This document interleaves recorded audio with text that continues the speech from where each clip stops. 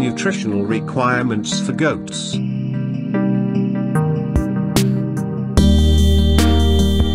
Part 1 To understand the feeding of goats one has to know their digestive system.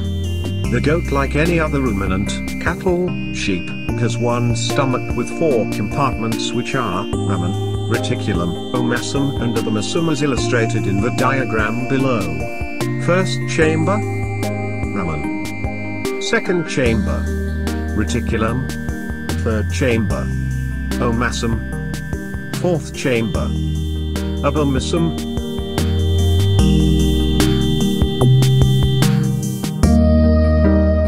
Adult goat. Goat kid.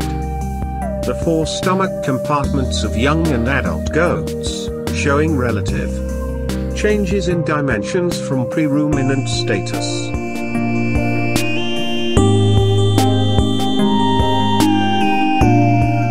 Bacteria and other microorganisms in the rumen and reticulum possess the cellulase enzyme that breaks down cellulose to simpler carbohydrates, which goats use as an energy source.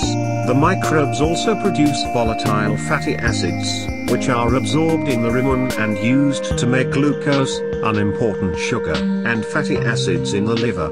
Feed is regurgitated. Bring swallowed food up again to the mouth so the goat can rechew it periodically to reduce the size of the feed particles. This is commonly referred to as chewing cud. One of the more important things about cud chewing is that it makes the goat salivate.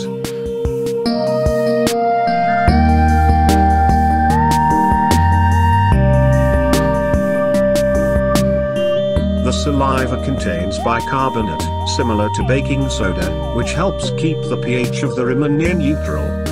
This is one of the reasons fiber in the diet is important. It causes more cud chewing and helps the rumen pH stay balanced. Once the feed particles have become very small, they sink to the bottom of the rumen and reticulum and enter the omasum. In the omasum, much of the water in the digested material is absorbed. The feed and rumen bacteria pass into the abomasum, which functions as the true stomach.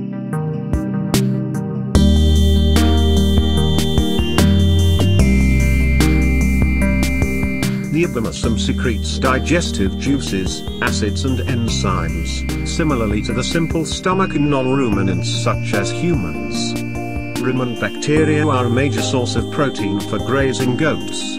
Feed continues its passage from the abomasum to the small intestine. The small intestine is where digestive enzymes break down the complex chemicals in feed into very small, simple chemicals that can be absorbed in the small intestine. Whatever is left of the feed reaches the large intestine, water is absorbed and the digestive is processed into feces.